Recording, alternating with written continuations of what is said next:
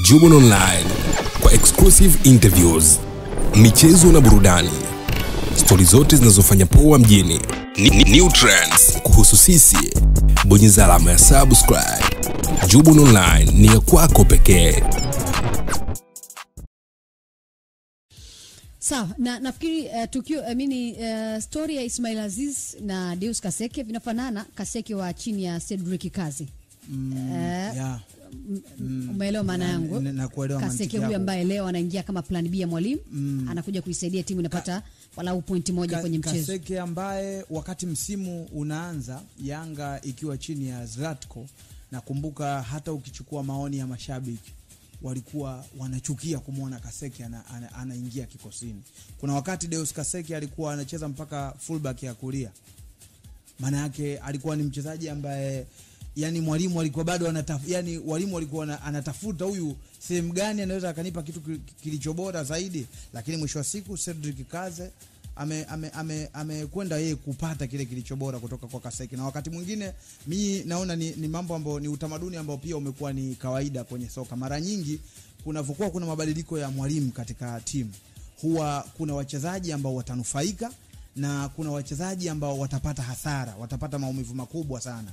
Nitakupa mfano, angalia ile Spurs ya Jose Mourinho, namna ambavyo Dele Alli, mchezaji ambaye alikuwa tayari ni mwandamizi kwenye kikosi cha Spurs chini ya Mauricio Pochettino, lakini sasa hivi amekuwa ana struggle, anaonekana ni mtu ambaye hana kabisa nafasi.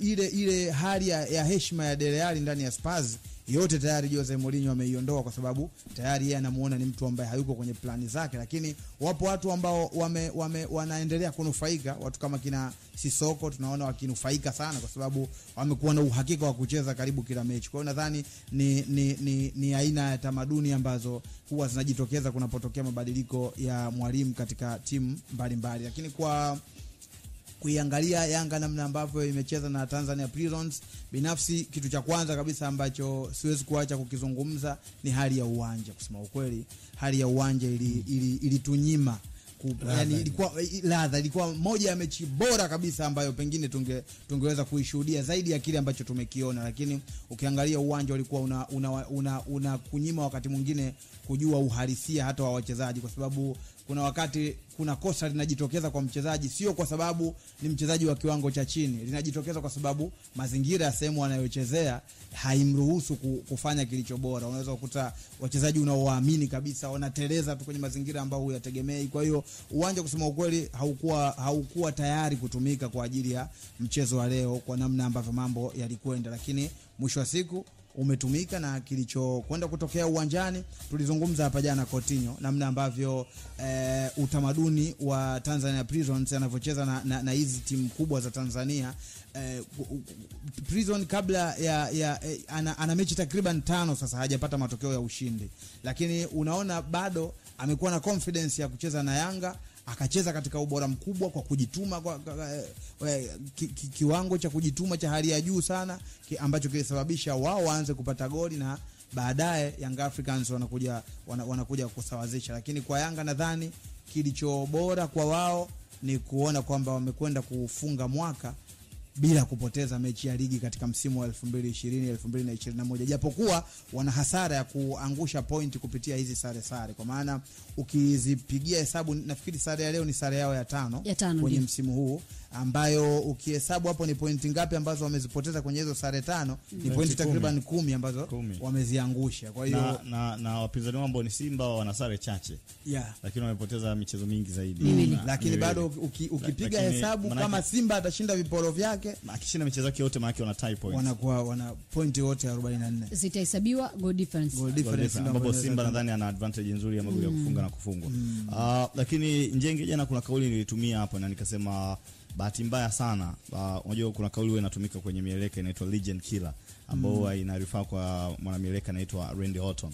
Huwa anaaminika kwamba yeye akipigana na watu ambao ni legends huwa mara nyingi anawashinda ama anaumiza ama bato zake huwa ni noma. mm. Na ukiwa unaangalia katika picha hiyo, uh, nilitumia neno hilo kwa kwa kwa kwa kwa, kwa, kwa, kwa rifaa au Tanzania Prisons na kusema kwamba wao ni legend killers, na hata ukiangalia mchezo wa leo wakati wanacheza it was so different na walivyocheza michezo mingine. Ungeweza nilikuwa kuna mtu nilikuwa namwambia pale wakati kwenye chumba cha habari. Nikamwambia ukiangalia timu hapa mbili akija mtu mgeni akaulizwa timu gani ambayo inaongoza ligi mtu angeweza kuhisi ni Tanzania Prison ndio timu ambayo iko kileleni kwa namna ambavyo wanacheza wanajua kucheza na timu kubwa wanajua kujiamini na bahati nzuri wana formation ambayo mara nyingi inavisumbua vilabu vingi kwa sababu wana mili mikubwa ni warefu na wana kasi eneo la mbele kwa hiyo wakiwini mipira mipira ya juu kwa maana mipira mipigwe mipira ya juu ikipigwa wakaiwini kidondoka chini wenyewe wanapiga mbele moja kwa moja na wanakusumbua sana wakiwa wanakimbia wangeweza kufunga magoli mengi zaidi kipindi cha kwanza kazi nzuri sana ametacha Mnata. Mimi nadhani moja ni, ni moja magoli kipa bora sana kwa sasa hivi Tanzania, na pengine kipa bora mtu anaweza kaagi na kusema kwa namna ambavyo anajiposition, namna ambavyo uh, uone hata ubaya wa, ya wa Faruku Shikalo kukaa bench kwa namna ambavyo amekuwa akiendelea kushow up langoni, lakini nadhani Prison kama wakiwa wangekuwa wanaingia na mentality hii wanaocheza na vilabu vya Simba na Yanga dhidi ya vilabu vyovyote vile nadhani tungekuwa tunaongea namna, namna tofauti. Nadhani ndio mentality waliokuwa nayo msimu uliopita na ndio maana kwenye nafasi waliokuwepo nayo. Msimu huu imekuwa a bit challenging, lakini nadhani uh, bahati mbaya ndio maana nikasema unaweza ukawakuta wao ni kama Wolves ya chini England wanapocheza na timu kubwa, sisi wote wanategemea kwamba nayo ni big match. Yes, na, ubo, na, na umezungumza Coutinho ubora wao kwenye kucheza mipira ya juu, nafikiri pia ndio uliwapa challenge hata Yanga kwenye namna ya kufunga magoli. Kama una, unakumbuka katika wakati wakiwa kwenye dakika za mwishoni, Yanga katika kulazimisha kutafuta uh, goli la ushindi, walikuwa wanatumia ile silaha ambayo mara nyingi tumekuwa tukiiona Yanga wakiitumia mipira ile ya, ya, ya set pieces ambayo wana, wanapeleka pale katikati wachezaji warefu kama kina ramin Mall, Sapong wanafanya kazi ya, ku, ya kuitumia mipira ya kona, lakini kwa leo mazingira yalikuwa ma, ma, magumu sana kwao. Tanzania Prisons walikuwa very smart katika kuclear mipira ambayo hatari zote zile za juu walikuwa wanajitahidi sana kupambana nazo, lakini pia goalkeeper wao na yeye pia mm. alichangia kwa kiasi kikubwa sana eh, kuokoa michomo mingi ambayo Young Africans walijaribu kuipeleka kwenye lango la Tanzania Prisons. Kwa hiyo ni kuwapa credit Tanzania Prisons kwa ushindani ambao wamewaonyesha wame- Yanga eh, katika mchezo wa leo. Kuna vitu vingi sana ambavyo ukijaribu kuviangalia kwenye huu mchezo unaweza usimalize. Nilikuwa napitia hapa viporo ambavyo Simba anahitaji kupata pointi zote ili aweze kuwa level na Yanga mm. na kama itatokea yakahesabiwa magoli ya kufungwa na kufungwa mm. basi ndio inaweza ikamruhusu yeye kuwa juu kwenye msimamo. Vitaji Ana Dodoma away mm-hmm. ana Mtibwa Sugar home mm. ana Gwambina away Ndio- mechi tatu pekee. yes hey, ambazo anadaiwa anadaiwa kwa sababu binafsi hapo na, nafikiri kikubwa ni unajua, mwisho wa siku hii, hii ni, ni marathon bado hizi Ah, ni mbio ndefu, kwa sababu na uwezo wanao pia Eh, yapo kwenye mpira mpaka dakika 90 ya zimalizike. uwezekano wa yeye kupata matokeo kwenye hivyo viporo upo, Upo. lakini pia anaweza hata akashindwa aka- kupata matokeo bora kwenye hivyo viporo, lakini bado mwisho wa siku, kwa sababu hizi ni mbio ndefu, ligi haijaisha, kila mmoja bado ana nafasi ya kuangusha point na kuendelea kukusanya Point. a- eh, point nyingine. Kwa hiyo nadhani moja kati ya kitu kizuri ambacho pengine msimu huu tunaweza tukakishuhudia, mara nyingi ligi yetu kwa mbio za Simba na Yanga, mara nyingi misimu mingi huwa inaamuliwa na matukio ya nje ya uwanja. Kwa maana unakuta katika msimu ambao Yanga anakuwa yuko bora, upande wa pili unakuta kuna migogoro, kuna nini, watu wanashindwa ku, ku concentrate na kazi ya uwanjani. Mm -hmm. Vile vile unaweza kukuta katika nyakati ambazo Simba unakuta yuko bora, Yanga anakabiliana na misukosuko hiyo ya nje ya uwanja, lakini inawezekana msimu huu tukashuhudia mbio ambazo zikaamuliwa uwanjani, sababu Yanga wanaonekana wamestiki ku, wa, wanapambana kusaka ubingwa, lakini ukiangalia Simba taratibu wanapambana kuendelea kukava pengo la point na yeye pia aweze kutafuta ubingwa bila kuwa na heka heka nyingine za nje ya uwanja. Kwa hiyo inawezekana tukashuhudia msimu bora sana na ubingwa ambao ukenda kuamuliwa katika hali fulani nzuri sana, na si ajabu ukakuta mechi baina yao ikaenda ku- ku- kufanya uamuzi wa ubingwa. Kwa kumalizia, uh, Saidon Tibazonkiza sofa usajili bora mpaka sasa, mechi mbili, assist mbili, magoli mawili. Uh, obvious uh, amekuwa na impact ya moja kwa moja kwenye kikosi na unampa sifa kwa maana ni professional, kwa maana kwamba wachezaji wengi wangehitaji muda kuweza kusettle in, ukizingatia namna ambavyo Yanga ilikuwa inajaribu kubadilishwa, ibadilisha makocha kadhaa tangu msimu uliopita, lakini pia Sudi Kaza alikuwa na muda mchache sana kuweza kuiboresha Yanga.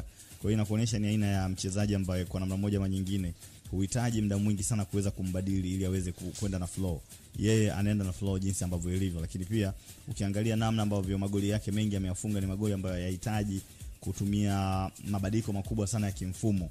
Inaonekana yuko flexible sana, anaweza akatoka pembeni, anaweza akatoka nyuma ya mshambuliaji, lakini pia anaweza akawa msa, msaada mkubwa kwa viungo wakati. Kwa hiyo kwa attributes alizonazo ni, ni moja aina ya wachezaji ambao unakuwa huna mawazo makubwa sana pindi ambapo unataka kumleta kikosini, kwa sababu unakuwa una namna nyingi za kuweza kumtumia. Lakini nadhani ongezeko kubwa sana aliloleta ukiachana na magoli, mimi nadhani kwa Yanga ni issue ya yeye kuwa